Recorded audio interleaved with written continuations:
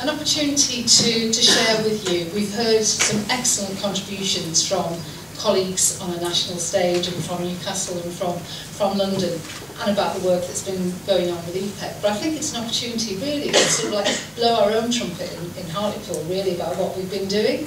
So I'm going to take us uh, back a bit really to talk about uh, the Healthy Relationship Partnership, its origins and a bit about what's informed our work. Some of you will be very familiar with this, but for some of you might be sort of new information. So we are one of three um, national projects funded by a consortium of funders, Big Lottery, Comic Relief, Esmée Fairbairn. There'll be names that are familiar to you. Um, and what they wanted to do as a funding consortium is to test out ways that uh, if we were to intervene early, we could have positive outcomes for a whole range of people in the community. So Hartlepool was successful. This is back in 2015 to be one of those projects. The other ones are in Coventry and, and Norwich. They're looking at very different sort of objectives, if you like.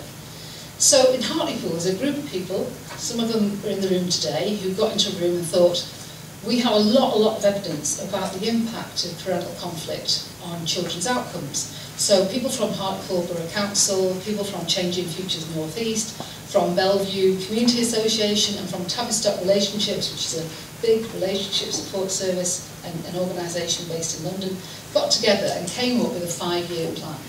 So we're now sort of coming to the end of year four of the five-year plan. So it's really important to kind of like talk about the fact that we've got a bit of a pedigree really in Hartlepool of, of addressing and wanting to work around this agenda.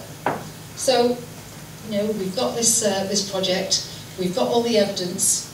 So if all this evidence is so compelling and we have, uh, you know, a real sort of challenge in terms of addressing parental conflict, why haven't we all done it? You know, there's a kind of a sort of a, a trick here that we need to be addressing. What is it that is preventing us from working around this agenda? You know, the evidence is compelling, we know the outcomes. So what's stopping us? So I think what I wanted to kind of like talk to you about today is the fact that the Healthy Relationships Partnership is not a delivery organisation. We don't deliver relationship support services. We have, a, we have some ways of testing out and bringing sort of examples. So we've had parents as partners running in, in Hartlepool over the last couple of years. It's a way of sort of like a, a proof of there is a relationship support uh, intervention here that could be available. We know the take-up of that service has been really sort of patchy. So there's something going on, isn't there? There's something going on about the evidence base, fantastic interventions. What is it that the system, we, the system, needs to think about and do differently in order to take advantage of these things? So we in the HRP, I'll use that sort of like uh, abbreviation, otherwise we'll be here so well after lunch, we wanted to look at some of the whole system issues that might either kind of support or prevent this agenda taking root. So we went and, and talked to parents. Lovely graphic there of, of parents. We went to talk to parents and we asked them, this is part of a, a piece of community research that we did just over a year ago. And we worked in partnership with the Joseph Rowntree Foundation and we recruited some parents to go off to talk to other parents about what they thought about relationships. What, what did they think about the quality of their own relationships and was it something that they kind of prioritised? And if they wanted some support with their relationships, what would they do?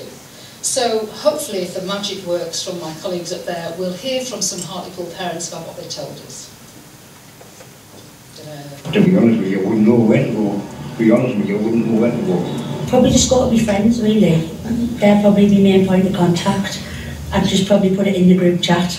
If I had any problems, I'd just probably whack it in there. And if I had any other problems, I'd probably branch out to like family, like probably a cousin or something. Yeah. But I wouldn't know where to go like if I didn't have them really. I've got absolutely no idea whatsoever. I wouldn't know where to start on that one. I suppose a bit obvious might go to church, maybe a church group or something similar, but I didn't know. Uh, I wouldn't go to speak to my parents anyway about issues that I was having because I don't think they could give me an objective viewpoint. Probably with this family either. I mean, generally you don't really hear of anything for relationships, you kind of just there's a lot there for the kids, that's a fine there. And there's a lot there for if you've got benefits or like an issue with your money, but when it comes to relationships, you're kind of left out there on your own. Do you think stuff to do with people's relationships should be more aligned with when you were saying about debt there, obviously mm. there's other services that do Yeah. things specifically around debt. Do you think it might be something to consider of making those more together? Yeah, absolutely. Yeah. Like maybe like one big bullet. So where people, if they've, if they've gone in with something that's related to debt, Yeah, and they might not be thinking about that, but where they can, yeah. Talk about so, right, you know, why are you're here, yeah, you know, I've got a list here, is there anything on there that's bothering you? yeah, You know, it might even be something silly like they haven't been to public business for 14 years. But it's like thinking of all those issues Yeah. being like, connected. Absolutely. Yeah, And you know, sometimes it is just nice to have a friendly, non-judgmental face.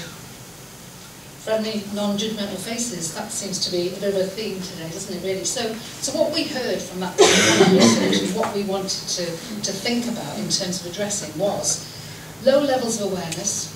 Parents we talked to really didn't have a kind of a sense of the impact of parental conflict on their children or even prioritising that as an issue.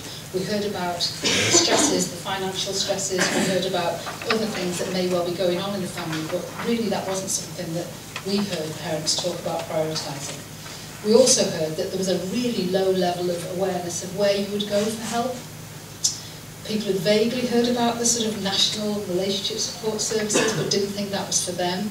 And actually said, as the, the gentleman said there, looking for people that they know and trust. People that they know and trust and would work with anyway. So it kind of again, you know, reflects that theme that practitioners who are currently working with, with families are best placed to offer that kind of first line of relationship support. So based on that, we, we thought last year that we wanted to have, we had in Hartlepool, an awareness raising campaign through Their Eyes campaign, which was again launched at the, the conference last February when Professor Harold came. And it was about raising awareness of uh, relationship support, is it, it kind of normalising that and trying to get it back into kind of you know, everyday conversations with parents and with families that it's okay to have conflict. How we resolve that conflict is really the most important thing. And we went out and we talked to a lot of community organisations, some of which are represented today, recognising that we have an awful lot of infrastructure in Hartlepool, which isn't necessarily about relationship advice or support, but they're offering advice on a number of different issues. And if we could support those agencies to feel confident, to ask those questions about relationships, we were a step along the way to providing that kind of like frontline, low-level support for families. So we looked at um, recruiting, I guess, people into the system. Um, and again, I keep referring back to, to you know, our approach has been a, a system change approach. So we had to kind of like think about, well, who is in the system? Who is it that, that parents really sort of like would, would uh, turn to and value? So going back to the, to the research, we heard that um, we heard from families that they would be prepared to receive support from them for their relationship problems from people they currently know, people in schools, from the community. And this is what practitioners told us, however, So we've got this kind of like trying to increase the kind of like demand from parents to say, yes, I do actually want to talk to somebody about what's going on in our relationship, but also thinking about, well, what's the kind of supply going to look like? What's the supply bit of that? And so we went to practitioners who parents saw as being the kind of useful resource and said, what do you think about offering uh, yourself as that resource? And this is what some of the practitioners told us about their feelings about it. So you can kind of see that the, the research that we did with practitioners said that they had, you know, lack of confidence, they had a lot of discomfort around it. You'll see some of the quotes there. I would know how to refer, so there's a big referral on, you know, I need to find somebody else somewhere else who's an expert on this. I don't feel expert myself, I need to refer on. I definitely not feel confident. People were honest enough to say I do feel personally uncomfortable around this issue. Um, and things, you know, things that would make them feel unconfident, uh, they didn't want to go down that route. I think Marie talked about it as being brave. Um, and people were talking about not feeling skilled to go down that route and ask questions of parents and couples. So that was one, uh, one area that we talked about. Also, practitioners talked to us about being worried about what the parents' response would be. That kind of, uh, again, sort of fantasy, that that would be seen as intrusive. It would be seen as, it, it's off limits. To talk about relationships is off limits. You can talk about money, you can talk about debt, you can talk about children's behaviour, but talking about parents' intimate relationship is actually something people feel that it's, it's not for them. So, you know, they're worried about, uh, you don't go there, it's almost like an invis invisible barrier between me and the parents to talk about that. Um, they don't want to make it worse, feeling that talking about um, being really careful about talking to parents, it's, where parents are separated. So you can see there, there's a whole, um, you know, again, another set of barriers that, that practitioners talk to us about. And the third one, is it my role? Should I be doing this? I'm, I'm X, Y, and Z kind of practitioner. Should I really be doing this? Have I got the permission from my organisation to do this? Will I get into trouble if I start to explore this kind of work with parents that I'm working with? So referring on, thinking someone somewhere else is a better place to do it, worrying about their, the authority to do that kind of work within their, their So these are, this is really important data for us in the Healthy Relation Partnership because if we are going to change the things in the system, we really need to listen to that and think about how we address it. So not quite as simple, um, you know, in terms of that supply and demand. We need to think about increasing awareness with with parents, but also kind of like increasing the, the supply of accessible kind of support. You know, again, thinking about the theme from EPEC and also talking about increasing practitioners' confidence. It's really important to think about how we as a system think about this and work differently. So I would say that you know this is this is our system around the family, I think um, it's probably fair to say that we're all kind of like recognise that for a lot of us working in organisations, we will see the family through the lens of the organisation that we are based in, whether we're based in a school or based in a health provision.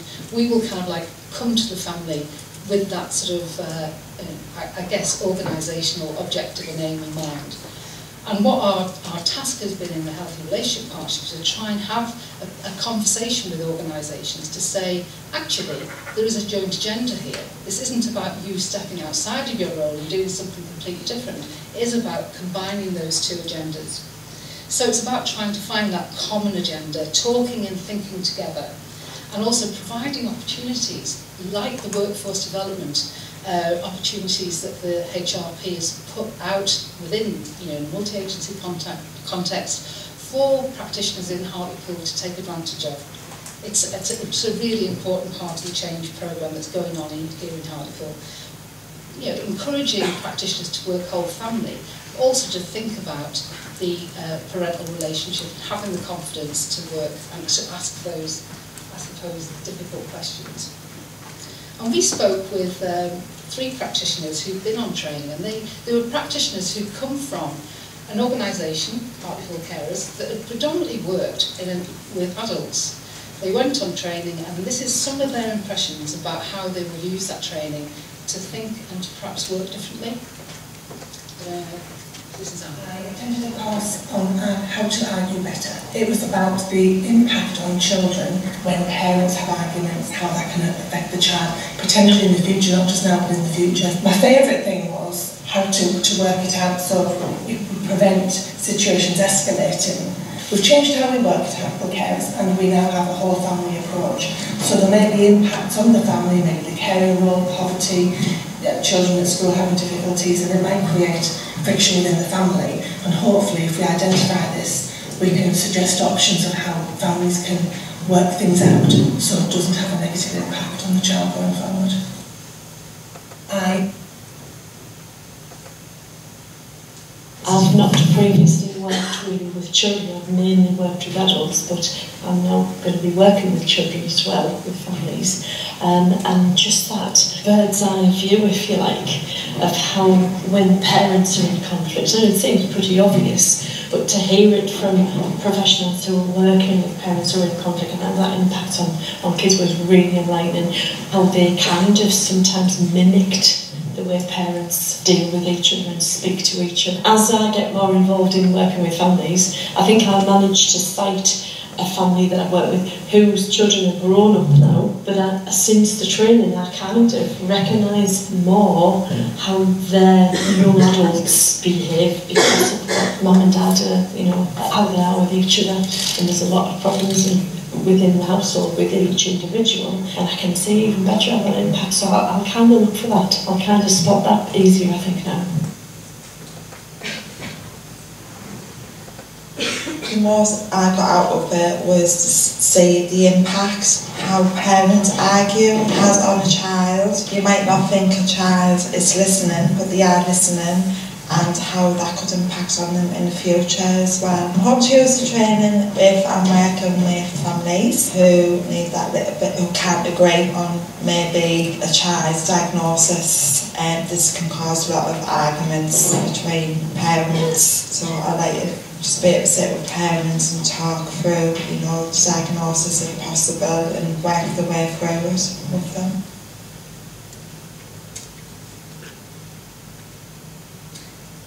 We also have a number of uh, colleagues from the local authority and from other organisations who have adopted the training. And I think I'm using these to kind of illustrate how different kind of organisations within the system have come to the training but have taken it back into their own organisation to think about how it is applied. So we'll hear from Lisa.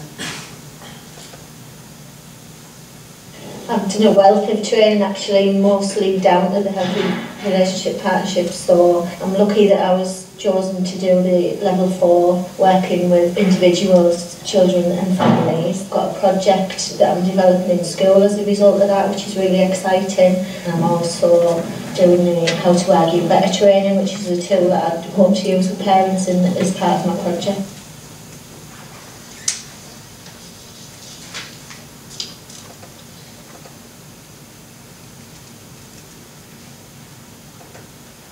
Really liked one of the resources that we used in the How to Argue Better training where we were able to look at the conflict surrounding parents, we were able to look at the trigger and what escalated things from there. The families really liked having the cards with the pictures on because again that was really visual and families like that and it opens up a lot of discussion such as using the petrol can and the logs and that, that one's been really good. I really do believe that now when we're going in a meeting with families we're exploring relationships not just between parents but between separated parents, children and their parents but we're also identifying other relationships that, you know, significant others that have an impact on the children and we're forward thinking where even in our assessments we're always looking at relationships and the impact that that's having, whether that's positive or negative. So I think all the training and the work that we've been doing together, it's definitely raising people's awareness and we're definitely thinking about that in everything that we do.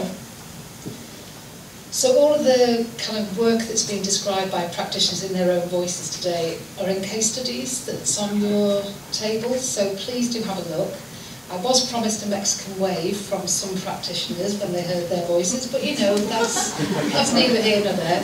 Um, and I'm sure that they're available to autograph the case studies if you, if you want to go, go and find them.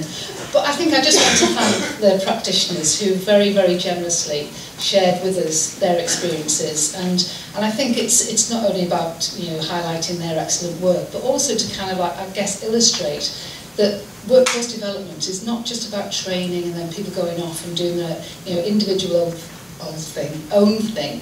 It is about saying this is about movement. We're trying to create a movement in Hartlepool of people from different parts of the system who are joined together with a kind of a common purpose and a common language and a common way of working.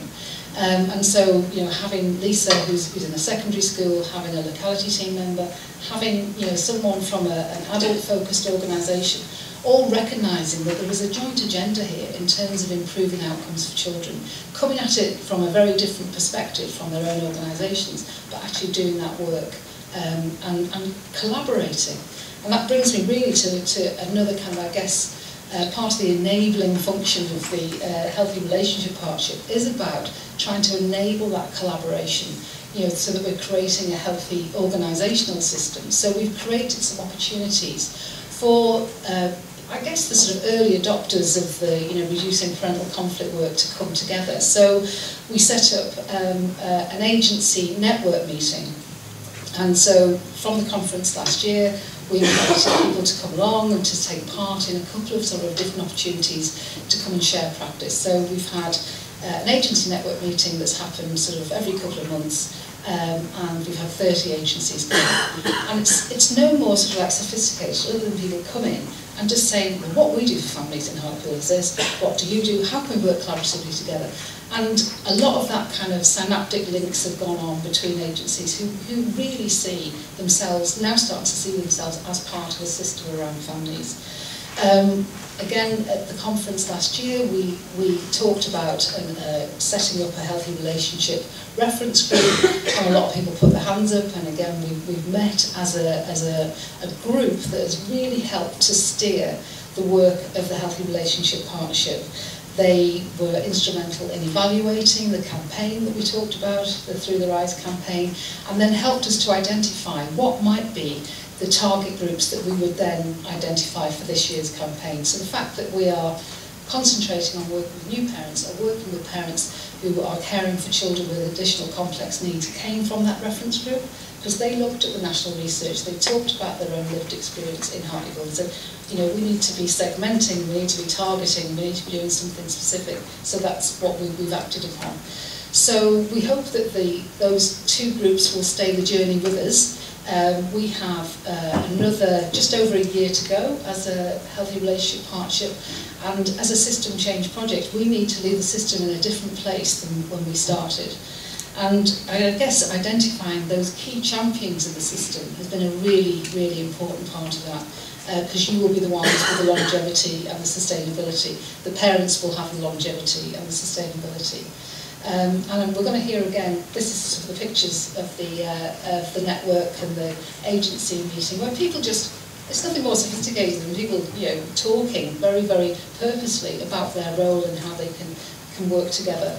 Uh, and pictures of, of, of conferences that we've had to kind of, uh, again, uh, raise awareness of this important issue.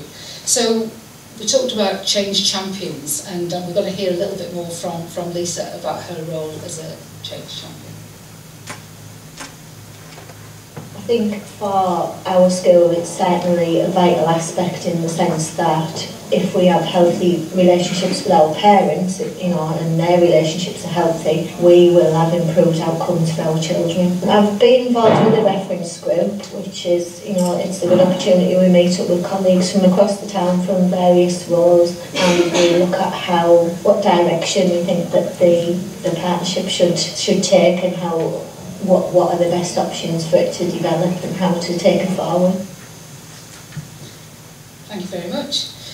So all that's great. We've got sort of workforce development, we've got raised parents' awareness, we've got these things going on, practitioners who've been trained. And I mentioned before about practitioners talking about have you know have I got the kind of permission, if you like, from my managers to do this work. So senior managers in the system being clear and giving practitioners that um, authority to do this work has been really important too. So we're really pleased that our Healthy Relationship Programme Board has senior managers, some of them are here today, who have been really been behind this agenda. Danielle spoke this morning about endorsing this event. Um, and we will hear a little bit uh, from Nikki Clark, who is um, a, a part of the Healthy Relationship Programme Board, but is also service lead for early help and for health visiting in Hartlepool. So we've got a little bit of a snippet of, of Nikki. We've looked at is areas where particular tensions in families arise around parental conflict. And we know from research one of those areas is when you're about to have a new baby, in that family relationships become sometimes more fraught and more challenged, or when you've got a child with complex needs, such as a child with disabilities. And we've worked with Health Relationship Partnership to look at how we could target those areas of support. Is what we found was the health visitor model lent itself really well to being in that position, particularly to help families in that antenatal period. And we've been able to build a resource of quite visual tools that our health visitors have and got some really positive feedback on families of the resources that would help them talk about some of those challenges that they're experiencing and also some tools to help resolve conflict. I think the success of using the health visitors is that they're a universal service. The fact that it is universal, the fact that within Hartlepool all parents will say, oh, we, you know, we chatted about our relationship, how we were getting on, and reduces that stigma. And what we're hoping to do to capture that system-wide change is that health visitors and school nurses work on a health database called SystmOne. So we'll be able to actually record on the system that um, we've discussed parental conflict, staff who initially, um, in some of the workforce needs analysis, didn't feel that they were confident to work with parental conflict or that it was their role, um, will daily be seeing that actually their assessment, their interventions, their outcomes will focus on that. And another way to do that is our managers are able to do that in supervision. So when staff bring cases for supervision, uh, managers and supervisors are able to prompt, you know, have you looked at family relationship? Have you discussed that? So thank you, and I'm sorry to, to for the people that's been excruciating hearing themselves being played to a whole sort of like conference, but thank you for your generosity in giving us those words. So I guess what I'm trying to illustrate is that, you know, we're having to try to make changes from community level with that raised awareness, but also kind of at strategic level, if this is to be sustained. It's great having a five-year project that's funded by voluntary funding that's brought into a town and we can spend that money and we can have lovely conferences and packs like this because it's funded by, you know, uh, into, into the town. But we need this work to be sustained. And I guess that's, that's part of you know, our role is to try and help that sustainability by embedding it within the kind of planning and strategic structures, but also what parents should expect. So we're going to hear, um, there is an overarching strategic group in, in Hartlepool called the Children's Strategic Partnership, um, and the, the work of the Healthy Relationship Partnership is influenced by that, but hopefully we influence it as well. Um, so we're going to hear a little bit from Councillor Harrison, who is the chair of the of the Children's Strategic Partnership on the on the magic machine now. Um, the role of uh, the Children's Strategic Partnership um, is basically to bring in together a lot of various agencies who work with young people and their families. One of the partnership's obsessions is to improve family relationships by trying to reduce parental conflict. And then another thing that is happening is that um, the various agencies and groups um, are self-assessing to decide what exactly their role is within the partnership. So get, thank you very much. What, what we're seeing there getting little snippets in terms of how we're trying to, to ensure that this agenda is here to stay. It's not about that five-year piece of work that we, in the health relationship partnership, funded to do. This is about making sure this has enduring uh, and lasting sort of impact in Hartlepool. And finally, the system change stuff is all about learning. So that's why the funders have given us this money. It's all about how are we ploughing back some of the learning that we, the, all of the learning that we are doing in Hartlepool is based, it's based on great evidence, but how are we contributing to the evidence base? So we are contributing by sharing through our funders and sharing through the Early Intervention Foundation, sharing through our networks about the work that's going on here in Hartlepool. And we, we consider Hartlepool to be ahead of the field. So we have to, to congratulate ourselves on that and we know that there's an awful lot of good work happening in other parts of the country, which we, we, we embrace, we bring it here, we hit, we'll have it, we'll have a bit of that. But we're also sharing with other people as well about what's going on, and people are very interested in that whole system approach that we've, that we've tried to, to enable here in town. So, this is a very, very sort of like cheap thing really, but we've got another year to go. And we really want to ask you what you think our priorities should be in the next year. There's a little slip of paper in your pack. And we want you to kind of think about the kind of activities that you've heard about, the activities that you know that we are involved in. So what do we in Hartlepool need to do to ensure work with a couple parental relationship is embedded in the way we do things around here? So ideas on postcard. So that we will collect them in um, at, at lunchtime, but really we would value and appreciate your contribution to that. Um, we've talked about the resources available. We're launching those materials today that have kind of come from that process that I talked about earlier. Um, you know, there are resources also available on the website. We're launching today an interactive practitioner toolkit which really provides you with downloadable materials that you can provide for parents uh, specifically for parents who are caring for children with additional needs and it's in the context of, of supporting their relationship. So please do go onto the website. You've got the leaflets in your pack which kind of um, are, are indicating how to get hold of these, these materials. So please do use them. Um, so for more information about us, our website, everything is on our website. Please do take advantage of that. So that's me talking about Healthy Relationship Partnership. We've, I hope that you've got a sense of the kind of activities we do, but the, that we do on your behalf, and we want you to influence the work going forward.